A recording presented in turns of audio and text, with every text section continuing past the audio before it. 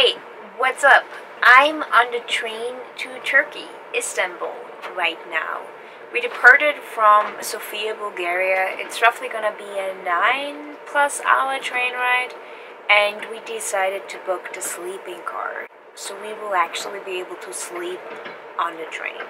And I've only ever slept on a train once, and that was from Bangkok to Chiang Mai, and I absolutely loved it. And that's why I was really excited to take this train.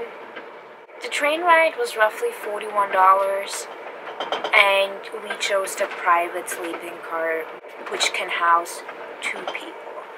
And I decided to show you around. I'm now gonna give you a little room tour of sorts. I was surprised. It's actually quite nice and really neat, and there's really everything that we need. And apologies for the noise in the background and the movement. I'm on a moving train. I mean, what can you do, really? Let's get into it.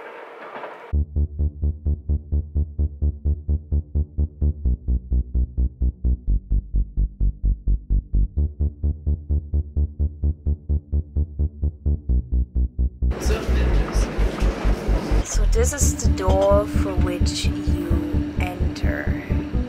And right next to it is a tiny, let's call it a bathroom. There's a mirror, there's a light that is not working, and a sink. And we also have some plugs on the wall. Here, down here, we have the trash. And over here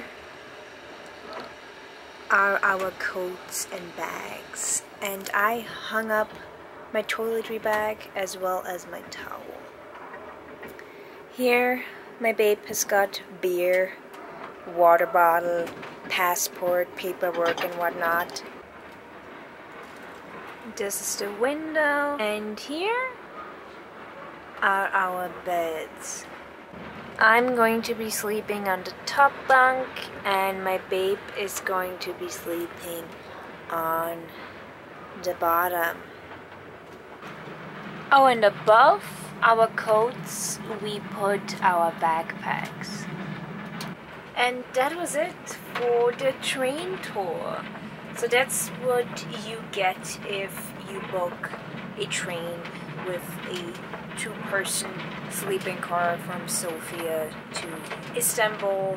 I love how simple it is and yet fairly spacious, and I mean, it's a train ride, so there's really only so much that you need and I'm very happy that we decided to go with the sleeping car because we're saving on um, accommodation for the night because we're sleeping on a train. And the bus would have only been I believe 10 bucks cheaper or something like that. So it wouldn't have been a whole lot cheaper. I'm going to bed now.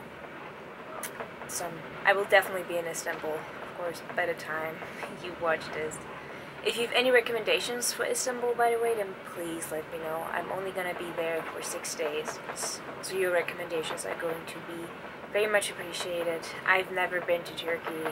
I'm super excited to see it, and now that US citizens can travel again to Turkey, which is awesome, I'm super, super, super excited to go because for a couple months we were thinking we were unable to go because my babe is a US citizen. Well, okay, that was it for me. Have a lovely day and see you guys next time.